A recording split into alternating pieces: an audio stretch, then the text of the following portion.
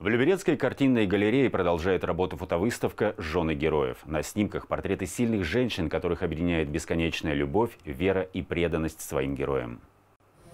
Всероссийский проект «Жены героев» получил достойное продолжение во многих городах. Люберцы не стали исключением. Съемку провели в мае среди цветущей сирени. Для участниц проекта это стало олицетворением мира, добра и новой жизни, в которую жены и матери мобилизованных свято верят. С чего начинается Родина, с чего начинаются э, вот эти все истоки. Сначала мать, потом жена, потом дети.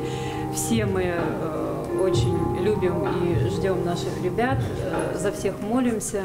Всех ждем домой с возвращением, с победой. В музейно-выставочном комплексе выставка открылась в июле. В экспозиции представлено 17 снимков, выполненных фотохудожником Ольгой Сухаревой. Глава округа посмотрел стенды с работами и поблагодарил женщин за поддержку участников СВО. Еще раз огромное спасибо.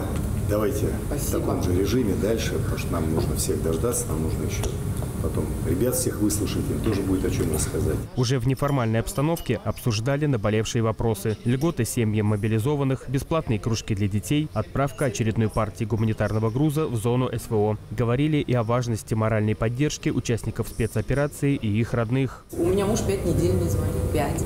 Вообще пять недель тишины. Просто он заехал, и никаких новостей, ничего. Встречи важны, а, и пообщаться между собой, решить какие-то вопросы не глобальные. Вот сегодня решался вопрос э, какой-то хозяйственного значения.